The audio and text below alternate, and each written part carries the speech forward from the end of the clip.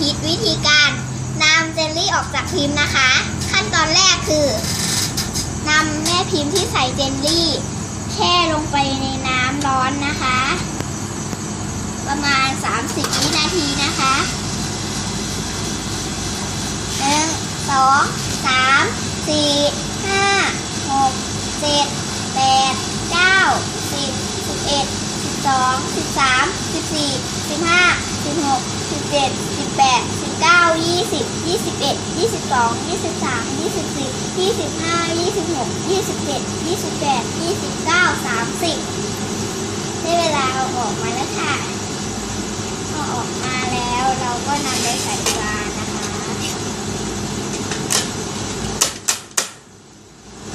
ไม่รู้ว่าจะออกไหมนะคะ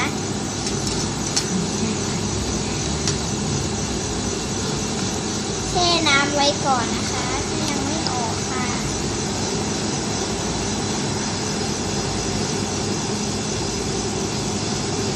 ดูนะคะ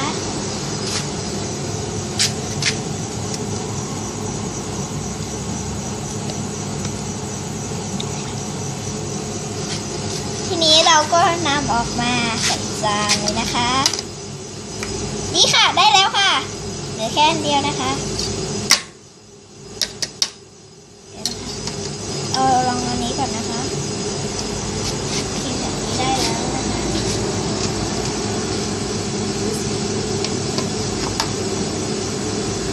ไม่ต้ ออกแรงก็ออกแล้วนะคะ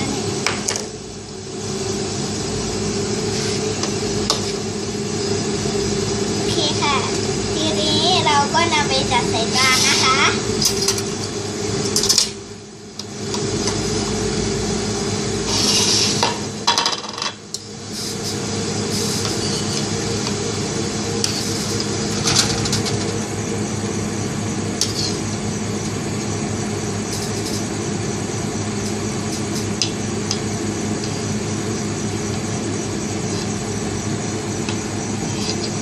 ก็ทำให้มัน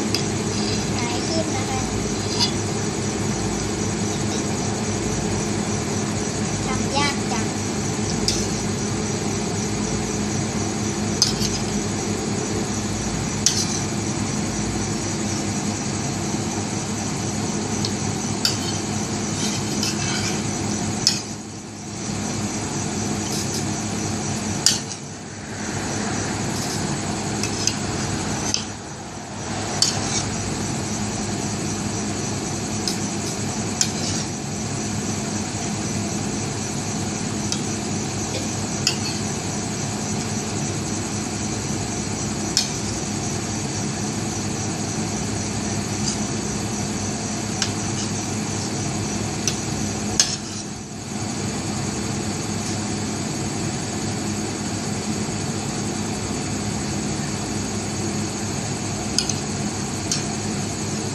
กว่า จะได้นะคะนี่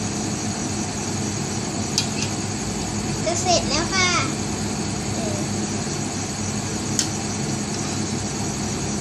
ได้แล้วค่ะเยลลี่ของเรา แล้วเราก็นำมารับประทานได้เลยนะคะสำหรับคลิปนี้ขอลาเพียงแค่นี้นะคะ สวัสดีค่ะ คอยดูว่าคลิปหน้าจะเป็นอะไรนะคะับคลิปนี้ ขอจบเพียงเท่านี้นะคะ บ๊ายบาย